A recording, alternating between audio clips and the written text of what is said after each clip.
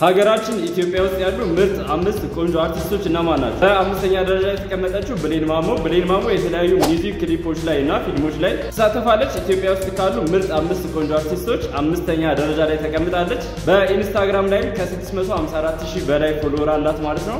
በአራተኛ ደረጃ ላይ የተቀመጠችው ሰላም ተስፋዬ ናት። ሰላም ተስፋዬ በብዙ የፊልም ስራዎቿ እናውቃታለን። በትወናው ዘርፍ ከፍተኛ ተወዳጅነትን ያተረፈች አርቲስት ናት።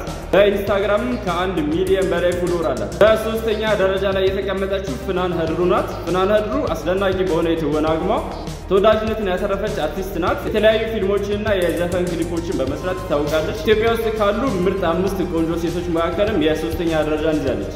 ፍናን ህድሩ በኢንስታግራም ከ917 ሺህ በላይ follower አላት። ኢትዮጵያ ውስጥ ካሉ ምርጥ አምስት ቆንጆ ሴቶች መካከል በሁለተኛ ደረጃነት የተቀመጠችው ሳያት ደምሴ ናት። ሳያት ደምሴ በተለያዩ ፊልሞችና ተከታታይ ድራማዎች ትታወቃለች። ኛ ድራማ አስደናቂ የሆነ ትወና በማሳየት ተወዳጅነትን አትርፋለች። ኢትዮጵያ ውስጥ ካሉ ምርጥ አምስት ቆንጆ ሴቶችም የሁለተኛ ደረጃን ይዛለች ማለት ነው። በአንደኛ ደረጃ ላይ የተቀመጠችው ሀናን ታሪክ ናት። ሀናን ታሪክ ኢትዮጵያ ውስጥ ከሚገኙ ቆንጆ አርቲስቶች መካከል በአንደኛ ደረጃ ላይ ተቀምጣለች ማለት ነው።